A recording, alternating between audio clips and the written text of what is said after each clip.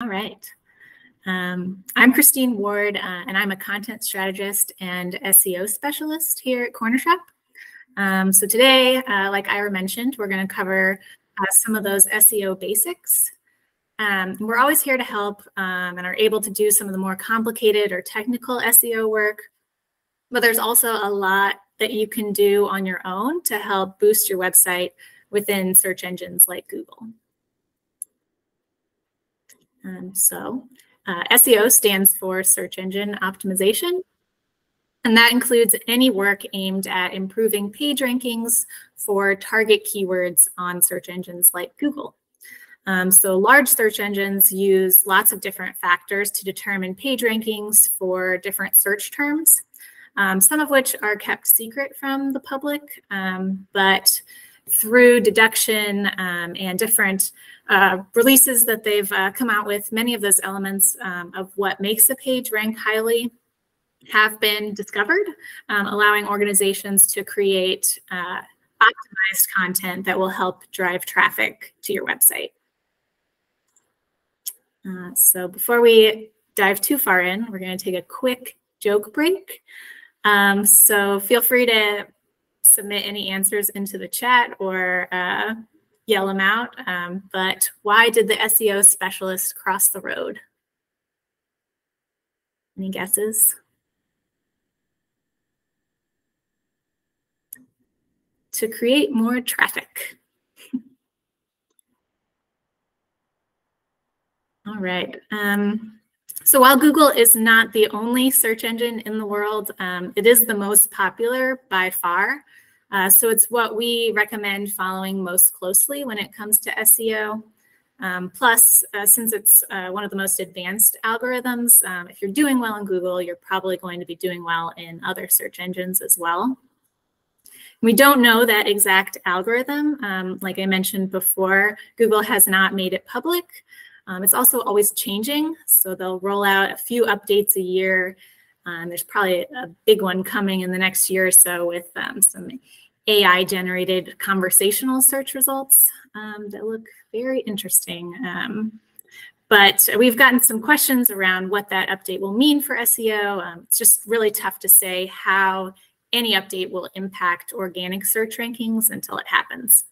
Um, but all that to say, we do have a pretty good idea about what the algorithm values and what they tell us it values. So we do talks and release clues about what that algorithm thinks is important. Um, so first of all, uh, you need to use that target search term along with relevant phrases on the page in order for Google to be able to connect your page to the search term. Uh, we also know that they really value quality. So each page on your site needs to have a beneficial purpose um, and it should be created uh, first and foremost to help your website users. Um, you can also remember um, EAT to ensure quality. Uh, so that stands for expertise, authoritativeness, and trustworthiness. So expertise looks at how fully you've responded to kind of the intent behind the search term. Um, and authoritativeness can be signaled by um, how often other websites are linking to your site, your page, um, telling Google that you're an authority on the topic. Um, and trustworthiness um, looks at things like how your visitors behave when they click through to your website, along with how well you're following SEO best practices. Um, so things like uh, including a bunch of spammy links on a page or keyword stuffing in the content. Um, and then there's also uh, your money or your life content. Um, so YMYL. It's the type of information that, um, if presented inaccurately, um, could really impact the reader's happiness, health, safety, or financial stability. Um, so it's kind of that high stakes content. Um, and if you create a YMYL page with bad advice, bad information, um, that could really impact people's lives and livelihood. And Google takes that very seriously. Um, so experts with that type of expertise should um, absolutely write that YMYL content, um, but be very careful that it's factually correct and beneficial for your audience, um, or else you'll feel that negative impact in your site's rankings. All right, so some factors that can impact your results. Uh, first off, we have optimization. So how well of a fit Google thinks your page is for a specific search term. Um, and we'll go over how to optimize your content in just a bit. Then there's competition. So there are certain keywords that your nonprofit is really unlikely to ever rank at number one for. So for example, uh, if you wanted to explore Facebook fundraisers and wrote an article uh, to encourage your supporters to host them, even the most well-optimized page won't unseat Facebook as the number one result for the keyword Facebook fundraisers. Um, so we'll cover uh, selecting keywords in a little bit. Then there's location. Uh, so search results will often bring up locations nearby the searcher uh, that are related to that term that they've searched. Uh, so search engine results can also vary by your location and your nonprofit can attract more local supporters by registering with Google and sharing your address. There's crawlability. Uh, so search engines use programs called crawlers that visit websites and can index their content, allowing those pages to start ranking. And you can help crawlers find your content by creating an organized map of links between pages on your site. Um, and that helps the crawler to navigate through your content um, going from link to link. And for website performance, uh, search engines prefer to send visitors to well-performing websites um, that load quickly and offer a good user experience. Um, so having a slow loading site uh, with broken pages or features that are inaccessible can really hurt your SEO. And all of these factors together can impact the web pages included and the order that they're included in on a search engine results page. So keyword research. Uh, content should be targeted to one specific search term uh, but how do you choose the right word to target? So there are lots of different keyword research tools out there to help you really dig in and evaluate all of the different options and select the perfect keyword for a particular page. Um, but even if you're not an SEO specialist with all of these different SEO tools at your disposal, you can still make a really educated guess about the best keyword to use for a page. Um, you want to think about your audience and what they would search to find the page in question. And then you can use that to optimize the page. It's, it's really that simple. Um, and it relies on your knowledge of your audience and um, really paying attention to their written and verbal communications with your organization. Um, so for example, you might notice that many of your supporters are using phrases like animal shelter instead of animal rescue uh, when they're talking about um, your organization. And as a result, you might then also decide to use that language on your website and within your chosen keywords. Um, Google Search Console is also a really awesome free tool at your disposal. Uh, you can log in and look at the performance report to see keywords that your website's already ranking for. Um, so you might go in there and see that one of your program pages um, is already ranking fifth for a particular keyword, um, but you have not optimized that page yet. Um, so selecting that keyword and that page and actually optimizing the content um, in hopes of boosting that page from maybe fifth to first um, and getting more of that traffic for the keyword. Because um, the higher up in the rankings your page is, the more likely people are to click through to your site.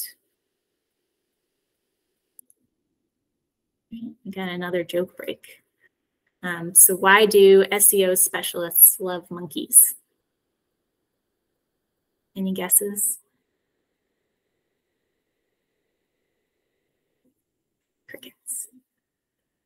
Uh, the answer is because they have long tails, which brings us to long tail keywords. Um, so as you're conducting keyword research, consider using more of these long tail keywords. Um, and these are longer keyword phrases um, that are more specific to the exact content on your web page. Um, so for example, uh, instead of targeting um, grassroots activism uh, for your advocacy page, you might get more specific and target something like environmental grassroots movements in San Francisco. Um, longer tail keywords uh, usually have less volume uh, because they are so specific. Uh, not as many people search them, um, but the people who are searching for them are much more likely to be a really great fit for your content uh, than someone searching a more general term. Um, and because they're so specific, they also tend to have less competition from other websites talking about this very specific thing, uh, which makes these long tail keywords easier for you to rank for. All right, content optimization. Um, so putting that chosen target keyword into action in your website content. Um, so first things first, you really want to respond to the searcher's intent on your web page. Uh, one of the main components of SEO now is value. Google will assign a quality score to your pages where its algorithm assesses how valuable the page is to the intended audience or searchers of a particular keyword. So as long as you're writing high quality content, uh, you really should be doing okay uh, because most of the same principles apply to writing for SEO and, and writing for real people. Uh, the goal there is to respond to the searcher's intent. So taking the question behind the keyword you're targeting on a particular page and making sure that you're fully answering it so that the searcher does not need to look anywhere else to kind of flesh out all of the related details. Um, so someone searching for animal shelters near me would want to know the location of the nearest animal shelter, but also things like uh, the types of animals the shelter works with and how their adoption program works and which animals are up for adoption and the hours that they can go visit those animals and, and so on. Um, but essentially, if you write content for both real people and search engines, um, you're really covered. Google is super good at analyzing text. Um, unlike back in the day when it first was created, uh, Google al algorithm now can recognize different forms of words, plurals, and, and different prefixes, um, as well as other content that um, is relevant to the keyword. So not every mention of the topic has to be an exact match for that keyword uh, which makes it much easier to write naturally and conversationally and create that high quality content uh, for your keyword. Um, so using your target keyword, uh, you want to take your chosen target keywords and pair them with pages on your website. Um, and then to optimize a page for a keyword, you'll, you'll want to use the keyword in a few key places on that page. So within the headings, the copy, the meta description, page title, SEO title, um, and the URL. Um, and a quick note on meta descriptions.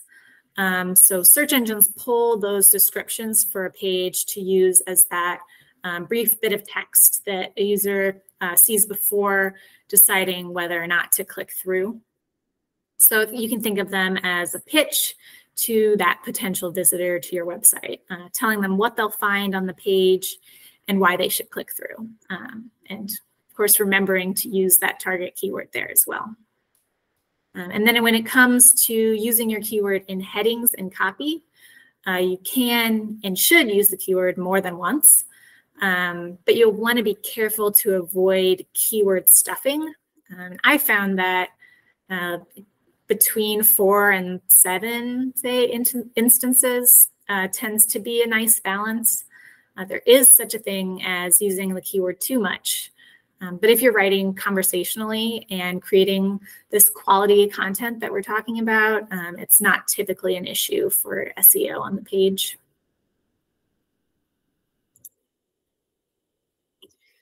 And you'll also want to include links within your content. So very few exceptions. Every page on your website should link to other pages.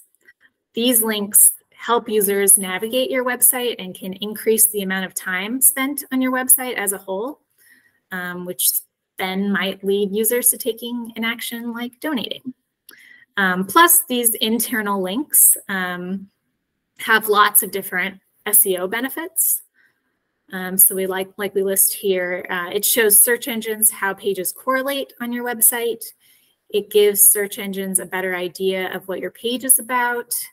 It assists search engines in finding new pages on your website, uh, and it helps reduce the bounce rate and keep visitors on your site. Um, so while you can see the value in keeping visitors on your website with these internal links, um, some people hate to send them away from your content with an external link. But outbound links are also really important and can lend your content credibility making them really valuable for SEO. Um, so you can kind of think of those like social interactions.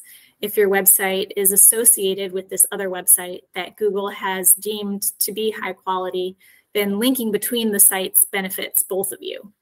Um, but this is also true if your website kind of hangs out with the wrong crowd. Um, so you want to be careful which sites you link to.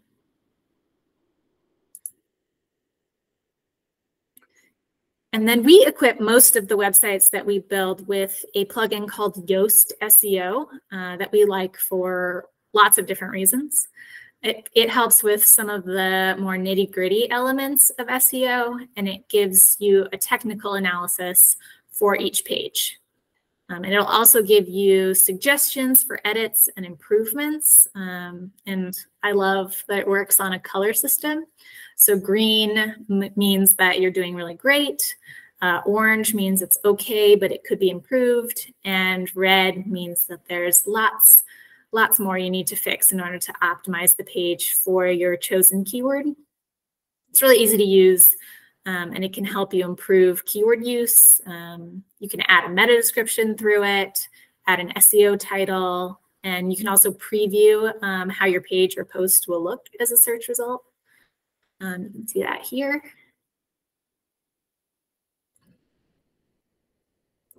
Right, links and SEO. Um, so like we were talking about, external links to your website can pass on SEO value. Um, Google looks at other websites that link to your site and weigh that in their decision on whether your page will rank in results. Um, but to get around um, a lot of the link schemes that were popular in past years, um, they have been starting to value the quality of those links over the sheer number of links or linking domains to your site. Um, so high quality links will tell search engines that um, you're enough of an authority on the topic uh, that others are willing to send visitors to your site to learn more about it kind of like a, a popularity contest of sorts. Um, and it goes back to their EAT stipulations and finding ways to measure the quality and value of a page.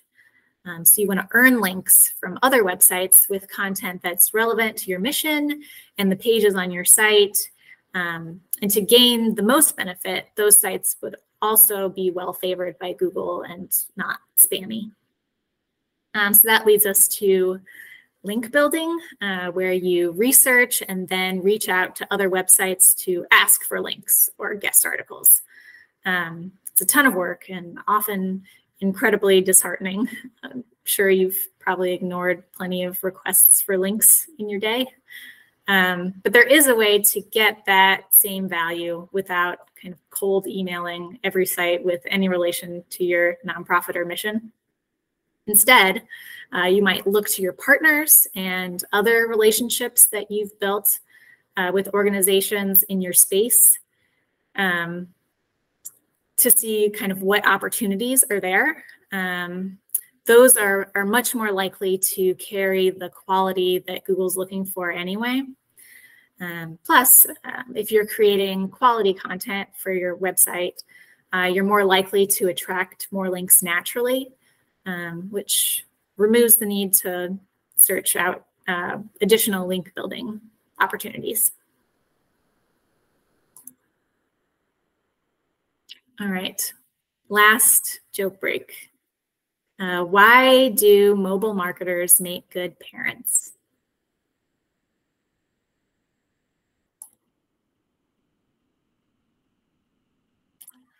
Because they're responsive.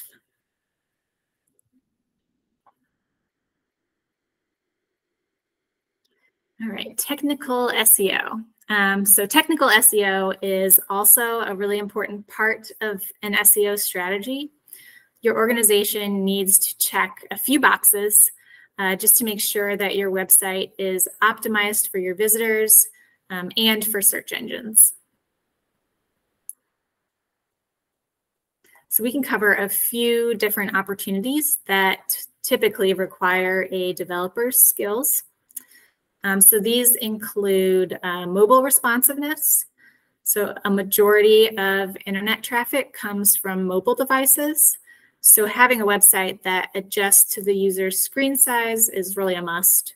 Um, and elements on your website should stack on top of each other um, and or you should hide elements that are not necessary on mobile um, or that aren't optimized for mobile.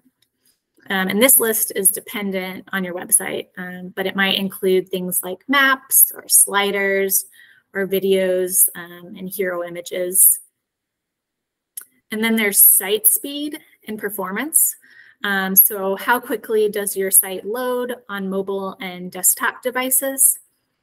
Um, and since a lot of website traffic comes from mobile devices um, and mobile networks do not uh, tend to be as fast as home networks. Um, your website should be as lightweight as possible so that it downloads quickly on mobile networks. Um, and this means reducing the size of the website by being strategic with the size and number of things like images, videos, fonts, JavaScript, um, and special effects that are on a page. Uh, the longer a website takes to load, the lower its conversion rate is. And we have a couple of stats here. Uh, one to three second load time uh, increases the bounce rate probability by 32%. One to five seconds load time increases the bounce rate probability by 90%. Uh, one to six seconds uh, increases it by 106%. And one to 10 seconds can increase it by 123%. Um, so it really makes a big difference. Um, and then there's accessibility. Um, so while accessibility is not a direct ranking factor, uh, it does improve the experience of your website for all users. And Google does take usability into account. So that might mean a range of different updates. Um, Content accessibility can mean making sure that the headings are in the correct order and follow that heading hierarchy. Um, for design, you want colors on your site to be accessible to users um, with color vision issues. Um, forms should be accessible to users with vision problems. Um, you want to make sure that interactive elements on your site are accessible to users who need to use keyboard navigation or who need to use speech-based navigation, um, or uh, making sure that the website can be scrolled with one hand.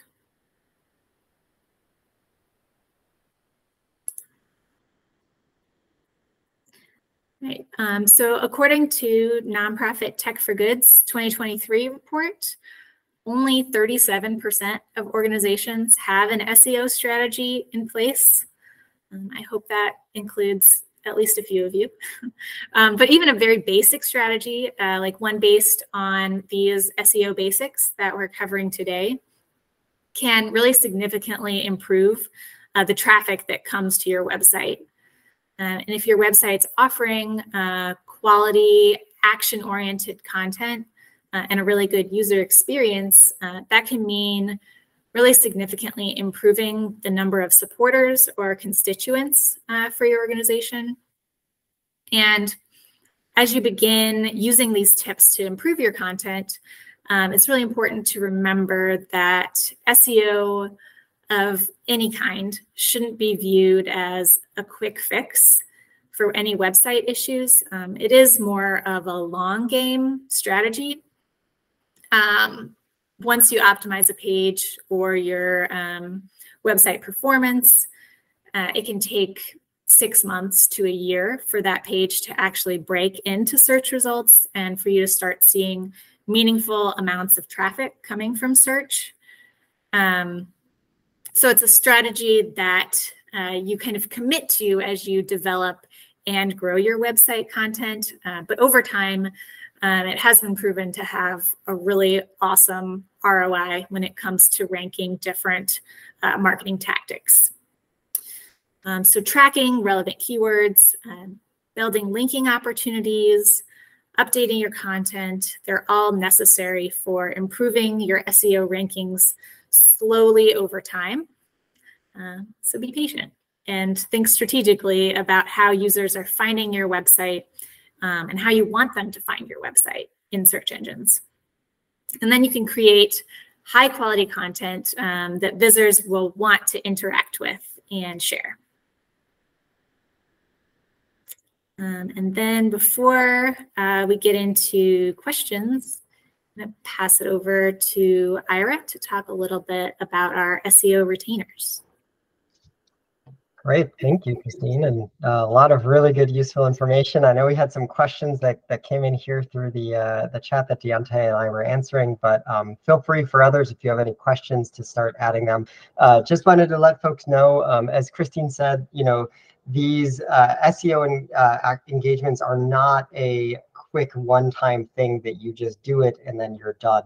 Uh, it does take constant care and attention to paying attention to, to uh, your various pages and how you're performing. And so we do support many nonprofits uh, in ongoing SEO engagements to make sure that you are fully optimized for SEO and performing various activities that will help do it. So that can be anything from optimizing current uh, page content to working on technical aspects as well as um, creating new content.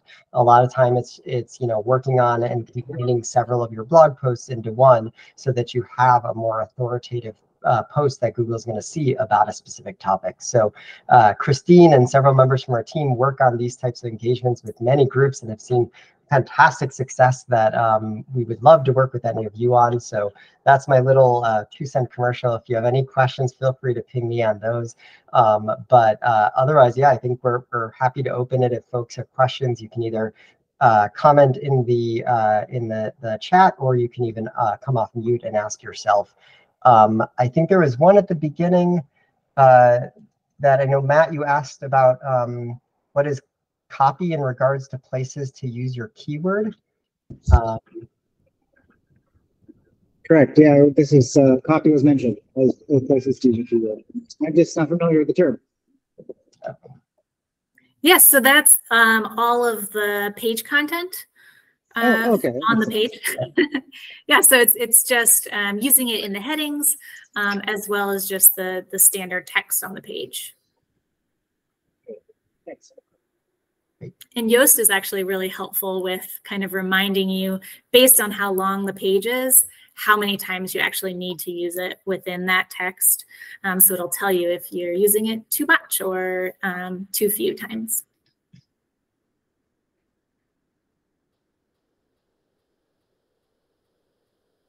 Great. Any other questions? Following up on that, I will encourage, I know most, of, a lot of you are Cornershop clients who've uh, we built your site. And uh, for every site we build, we always install the Yoast plugin. We do a lot of configuration ourselves and uh, before we hand it off to you to make sure that it's set up in the correct way for, for people to access it in general level. However, we often aren't going into specific pages and doing some of the responses there. So there's a lot of opportunities to um, just use that SEO tool kind of look at what it's it's kind of flagging as concerns and um, making some some improvements based on just what it suggests there.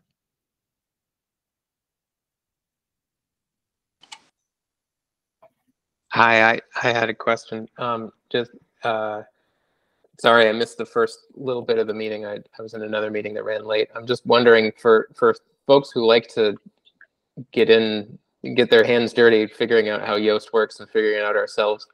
Um, are there um, any potential hazards or anything that we could potentially break or ruin on accident from I, I understand there are some like sketchy SEO things we could do that uh, would in, like you know be flagged as being bad but I, I feel like some of those you we would have to be trying to to do bad things but like what are the what are the things that we could mess up by accident I guess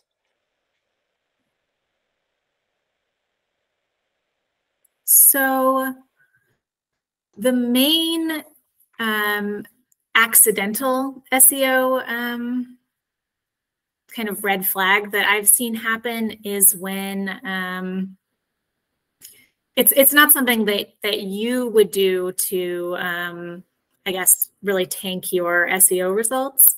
Um, the issue I see more is that um, another website um, that is kind of spammy will um, include a bunch of links to your site um, and then Google will think that you are spammy because all of your links are on this super spammy website. Um, and you can, um, there's basically a way to reach out to Google to tell them that you do not want to be associated with this super spammy site um, that can help kind of uh, build back up that some of that link value. Um, but um, if you're using the Yoast tool um, and you have it um, configured uh, properly, it's it's really hard to like purposefully uh, mess up some of these optimization um, recommendations for your website.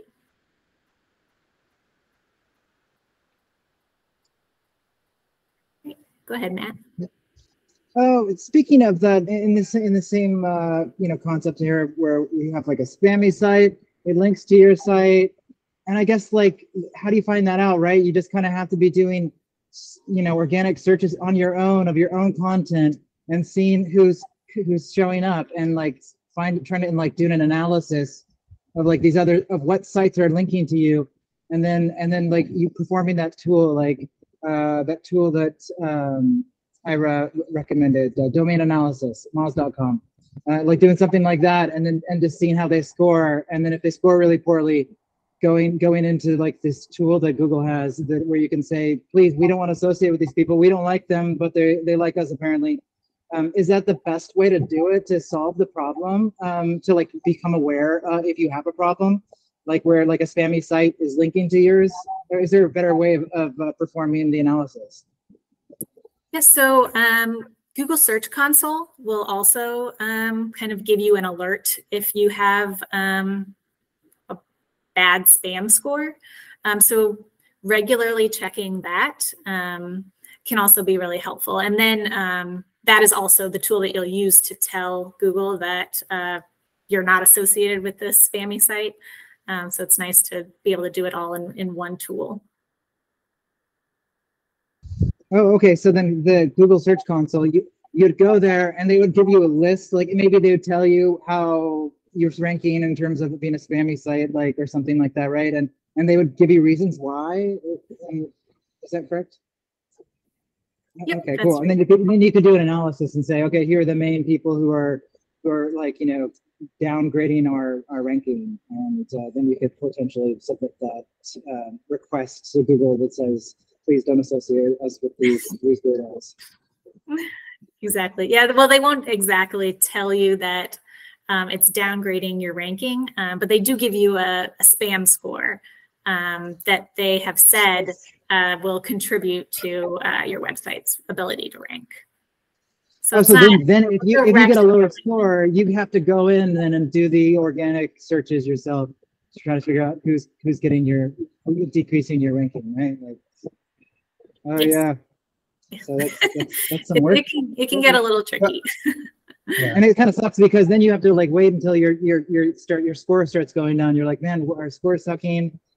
You know, and then like, and how long has it been, how long has it been bad for? You know, so it's, it sounds like something you like an organization would want to like set up a regular, you know, uh, like you know, once a month go in and check how you're ranking, and then like if you ever and then like record that data, and then like if you ever start decreasing, then say, well, okay, we have to figure out what what the heck's going on. So it, it kind of sounds like yeah, that there'd be like an SEO like game plan that you'd have to have. Like, uh, okay, yeah, great. Thanks, that really helps me out. Yeah. So building that strategy to it, it can also um, and should also really include um, steps to take to monitor um, these like spammy links and kind of other uh, technical red flags that we talked about, um, just to make sure that um, aside from growing your um, presence in search results, uh, you're also kind of maintaining and protecting what you've already built. Um, because it, it can really change very quickly when Google will release an algorithm update. Uh, we had a couple questions on the chat here. Um, one from Chris is, if you have a weekly schedule that students check by going to the same web, web page over and over, is that bad for SEO? Actually, great for SEO. you want um, lots of those returning visitors. Um, it shows that um, your website visitors value your content so much that they come to it over and over and continue to find value in it. Um, yeah, so that if you have pages like that on your website, I would I would definitely prioritize keeping them up to date um, so that you're you're taking advantage of these returning visitors. Um, another question we had is, are you are you oh, it just disappeared? Are you only allowed one focus key phrase? Um, so in Yoast, uh, yes, you want to um, stick to one target key phrase, or else um, it'll kind of uh, finagle how they offer those different recommendations.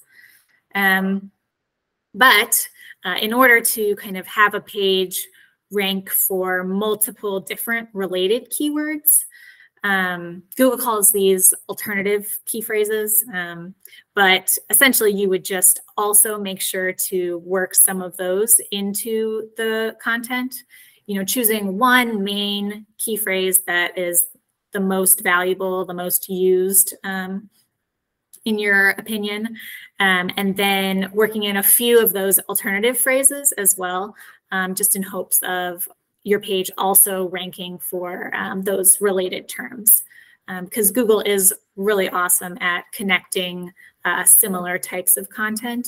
Um, so you might notice that kind of no matter what phrasing of a topic you search, the results will be um, pretty like almost identical in some cases. Um, they, they have gotten really good at connecting these different topics and making sure that they're uh, recommending um, the best pieces of content for for that topic, no matter what the exact phrase is. And related, I think kind of uh, about Yoast, um, it's uh, apparently in the premium version, there is a get related key phrases uh, button. And uh, they want to know if we would recommend that. Um, so, I mean, like I said, you can kind of um, do it with, you can still take advantage of that without the premium version. Um, but it is a, a nice little perk. Um, if you already have the premium account or um, you might need some of the other premium features um, to also use that. I don't know that I would recommend it specifically for that feature, um, but but it is a really nice perk if you have the, the premium plan. And the last question I see in the chat here is, um, uh, going back to those those folks who visit the one page over and over again every week, um, if they do check that and then leave immediately, um, is that bad for bounce rate? And I'm going to expand that to just say, does bounce rate impact any any SEO factors? So bounce rate uh, does impact um, SEO factors. Um, Google, through the shift to um, from Universal Analytics to um, Google Analytics 4. Um, they've moved from bounce rate to something called engagement rate. Um, so that is basically the amount of time that um, a user has your um, website kind of active on their tab. So if they move to a different tab or window, um, that uh, counts as like losing engagement now. Um, so it's a, little bit of a shift in the, the terminology and kind of how that works. Um, but it, it does impact um, SEO. So uh, you want to make sure that uh, the content on that page is is um, enough to you know capture that person's engagement for um, you know at least you know 15 to 30 seconds. Um, lower than that um, it i would say would negatively impact that that seo Yeah, bounce rate is one that's always, you know, it's it's something that a lot of folks use, but it, it always doesn't necessarily mean like it sounds like in your case, it's not necessarily a bad thing that they're immediately leaving because they're coming, getting the information they need, and then leaving. And that's what you want to provide to your supporters. So uh, my perspective is is never been to place too much emphasis on that bounce rate as it um, is a little misleading as you're not getting the full context of what folks are doing. So, um, one of my favorite questions, I'm really glad Dana asked this, is uh, is that they're having a hard time uh, convincing the content creators that SEO is worth their time. So what strategies or KPIs should the web team be, be pulling to, to prove that SEO is a benefit to the organization? So I, I'll, I'll, let you talk. yeah. I really like looking um, in Google Analytics um, at traffic from organic search. Um, and then once you kind of filter into that specific people coming from search engines to your website, uh, you can narrow it down to actions that they're taking on your website, um, other like really important key pages that they're visiting, um, and basically determine their value from there. Um, so if you're tracking um, conversions on your website, um, so things like email signups and donations and event registrations, you can see that this visitor came from search. They signed up for our email list. So now we can communicate with them um, whenever we like and uh, use that to kind of create a long-term strategy to uh, convert that person into a, a lifelong supporter. Um, so digging into that, uh, it you can see basically increasing the, the amount of traffic on your website um, can be super, super valuable um, to uh, increasing the number of actions and conversions that people are taking in support of your mission and goals. So, so pardon me, uh, going from that, like, let's say you're trying to convince, you know, your the administrative to like, you know, give you more money so you can focus more on SEO. You might look at that your Google Analytics and say, ah, look at this, our organic search is low, um, and it should be higher. Um, you know, if you just look at you know analysis of websites in general or something like that, and then you could say, and SEO is what is drives these organic searches. So we should this should be the the, the reason why we want to invest more money in, into uh, um, SEO for our website. Okay, is that right? Yep. Exactly. Yeah. Yeah. And I, I think there's often the stigma, you know, I've, I've heard this comment before that, that, you know, a lot, a lot of times content creators will say, oh, I didn't need to focus on this. And so um, it's oftentimes because there's that stigma that people think that like writing for SEO is like writing for machines and you have to write in this way. And I think like keyword stuffing back in the day gave this a bad name. But what Google's really looking for, going back to one of those first slides, is that they're looking for good content, quality content that's authoritative. And so writing a good article that's good for SEO is going to be good for your supporters as well. And so, you know, people don't want to go to five different articles to get the information they need. They want everything in one comprehensive post and that's what google is is showing off for. Um, i always give the example of like I, I search for a lot of food recipes and stuff and so like when you're searching for like the best tomato soup recipe you're going to get an you know a bunch of articles that describe what tomatoes to use and how to cook it and what heat it should be at because you don't want to be bouncing around to several different articles and google knows that it's going to give uh, everybody that full comprehensive information. So it's a lot of times not even i think some of those those metrics are always good to look at and can give you a lot of good uh, ammunition when when talking with folks but it's also just emphasizing that building good content that google wants to see is also what people want to see and is going to going to benefit um, getting more people to that content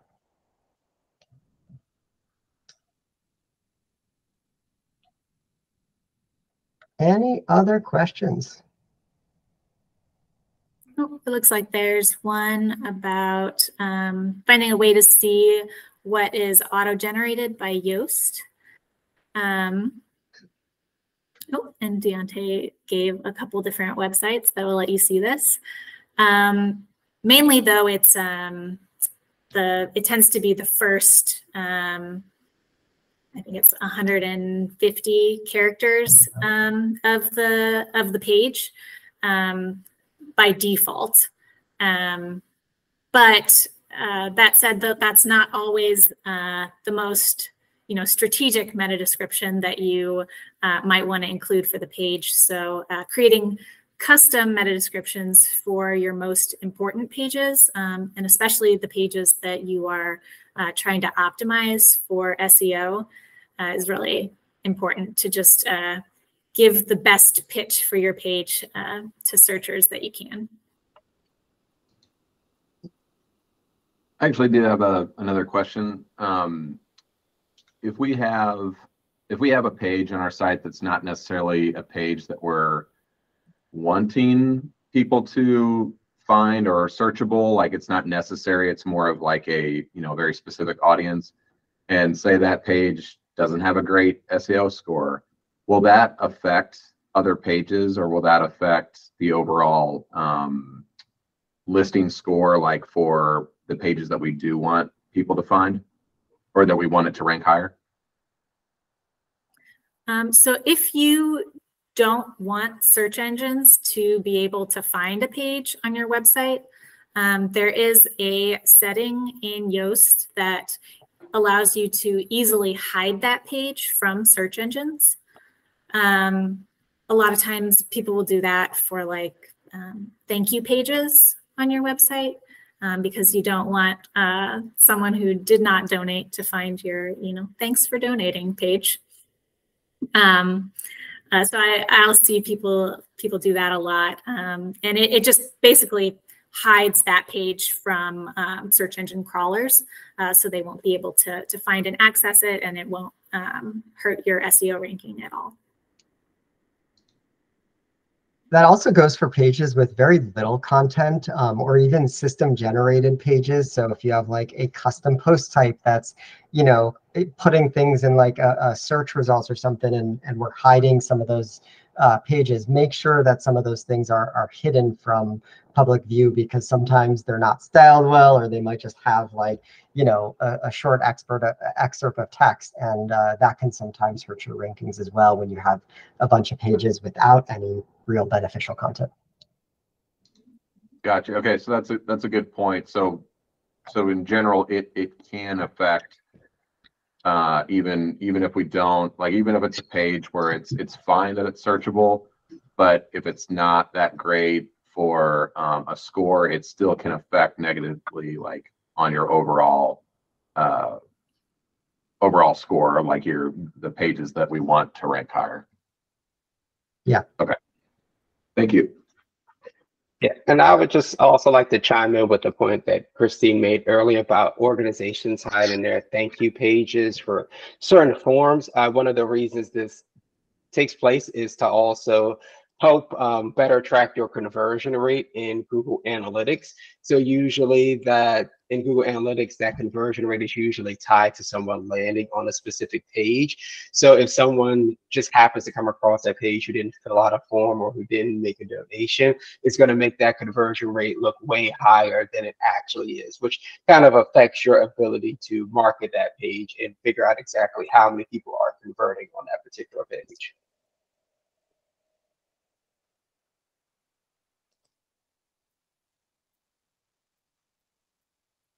Great. Well, we are almost at the top of the hour. I don't see any other questions. I really appreciate uh, folks who've uh, joined and participated in these questions. Really helpful. Um, again, if you have any further, we're always happy to continue this conversation. You can uh, email myself, Christine, or Deontay uh, directly, uh, just our first names at Cornershop Creative. Uh, and you can always email our support team, support at cornershopcreative.com. Um, I'll also post in here uh, a, a, a blog that we created. Um, we'll send this out and the recording out over email um, to, to folks who registered. But uh, this is a great blog post that just summarizes a lot of the, the pointers that, that Christine mentioned, as well as others that um, could be helpful for folks to implement. So uh, thank you all again for, for joining today and uh, look forward to, to continuing some conversations and optimizing your sites around this. Oh, question. Yeah. Um, this is being recorded and the recordings can be made available. How do we get that? Uh, we're gonna we'll email that out to all folks who registered, so so you'll get that. Uh, if you don't get that in the next uh, couple days, uh, feel free to email us. But uh, we'll we'll be sending that out uh, very short, very soon. Great. Perfect. All right. Thank you all so much, and uh, we'll talk to you soon.